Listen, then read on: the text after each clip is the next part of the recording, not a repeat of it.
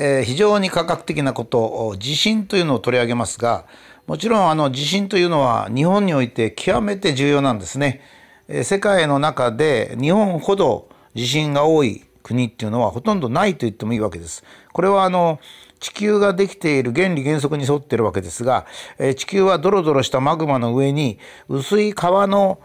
をかぶってるような、まあ、薄皮まんじゅうみたいな行動をしてるんですけども、まあ、人間にとっては近くの岩盤というのは非常に硬いように見えるんですが地球全体から見ればものすごく薄い膜がですねドロドロしたマグマの上にかぶってるって、まあ、そういうところに我々は危うく住んでるわけですね。まあ、したがってちょっとした変動でえー、地殻が揺れるわけなんですけどもそれも具合の悪いことにえ地球全体で歪みが少しありまして流れもありますので、え大陸が移動してですねその移動の歪みっていうのは太平洋側に全部ほとんど集中してると言っていいんですね。特に、え歪みが大きいのは千島列島から日本列島台湾フィリピンインドネシアにつながる地域ですねこの地域が 最もその歪みが大きいんですねですからえー、日本人の祖先が日本に来てしまったのは仕方がないんですね。これは多分船に乗ってですね、えー、インドネシアの方からあゆっくりゆっくり来たら、えー、その先は太平洋だし、まあ、結構ここに大きな島があるなっつって、まあ、日本に住んでみたら結構気候もいいじゃないかと。えー、ちょうど縄文時代は今よりかかなり温度が高かったもんですから、えー、青森の三代丸山遺跡なんて分かるように、え、大変に温暖な気候の中に、まあ、生活することができたわけですね。ただ地震だけが多いのは仕方がないんです。で現在のように非常に科学的な街ができて高いビルなんかができたり新幹線が走ったりしてると、まあ、地震というのが大きな災害に結びつくことがあるわけですから、まあ、地震予知ができないかという思いに駆られるのは無理がないんです。しかし地震予知というのはもう原理原則としてできません。で今までできると言ってきたような東大の先生なんかは一斉にですねやっぱり懺悔をしていただいて、えーと、なぜ地震が予知できないか東大の先生は我々は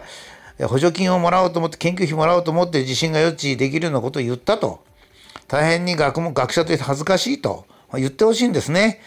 まあゲラー先生のように、まあ、退職されましたが東大のゲラー先生のように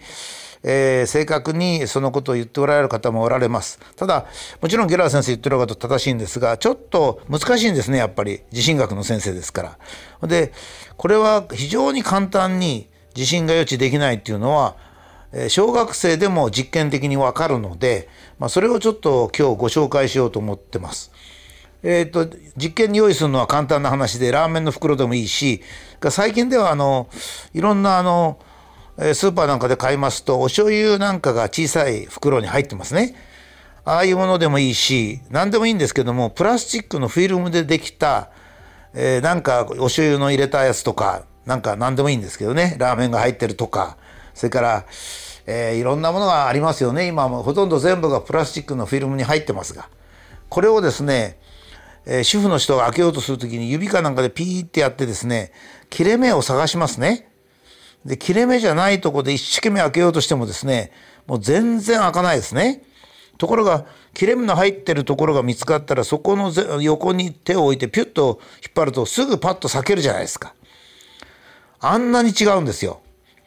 えーと、場合によって違うんですね。難しい方しますと、極立半径と長さによるんですけど、まあそういう難しいことは別にして、切れ目が入っていると極めて簡単に切れるということだけをこう分かればですね地震が予知できないっていうことが分かるんですね。えー、どういうことかって言いますと例えばこうよく言いますよ、えー、何何年周期ぐらいで地震が起きると。例えば関東には関東大震災それ100年おきか150年150年ですか150年おきに起こると。大地震はですねこういうわけですね。それはどうしてかっていうとプレートが動いて少しずつ少しずつ歪みがたまり歪み歪みとは力になるんですが、えー、力が発生するんですね。応力っていうんですけど、まあ、力が発生してそれであるところの力が溜まってくるとつまりこれはこういう言い方もしますね。これは正確な言い方ではありませんが、えー、地殻のエネルギーが溜まってくると大地震が起きる。こういうふうにも言いますね。ところがこれが全く間違ってるのは今の、うん、フィルあの醤油のなんかそれとかその、えー、切れ目が入ってるとこ以外では切れないっていうので分かるんですけど要するにあの地震が起こるっていうのは地殻が破壊するんですよバーンと破壊する破壊するってことはプラスチックの袋を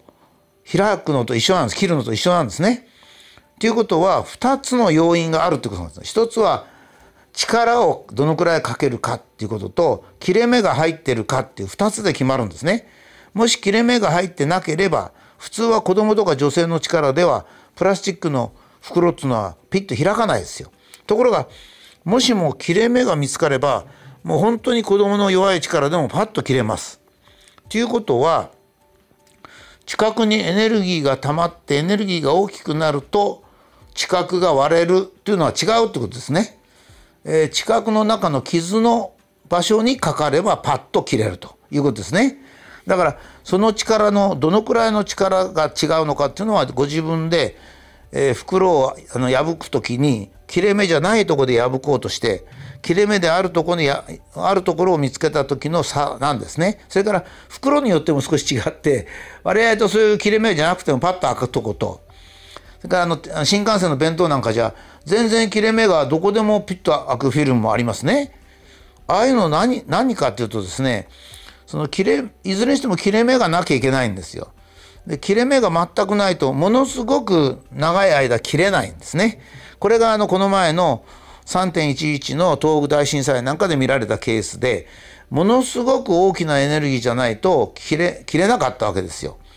だからあんな大きなマグニチュード9とかいう大地震になっちゃった。つまり力がものすごいかかった時に1000年分とかかかった時にバチッといく場合もあるしですよ。それから茨城沖みたいでしょっちゅうありますよね。ああいったみたいにまあ大体震度4あのマグニチュードで震度で4ぐらいかな。えー、マグニチュードでもまあ4とか、まあ、6とかいうなぐらいのエネルギーが解放されるような場合はですね地殻が構造が複雑で血管がいっぱいあるんですよ。つまり切れ目がいっぱいあるようなもんですね。小さい切れ目がいっぱいある。だからその小さい切れ目のどっかで切れるわけですね。ということはもうこれでお分かりだと思いますが、えー、地震が起こるのはですね力の大きさとそれからあの地殻の中の傷の程度なんです。でほとんどは傷の程度で決まりますよ。それはだから、えー、かあの我々が分かっているようにあの切れ目さえ見つかれば簡単に切れるわけですからね。だから近くに切れ目が多ければ大地震は起こんないんですよ。次々と切れ目が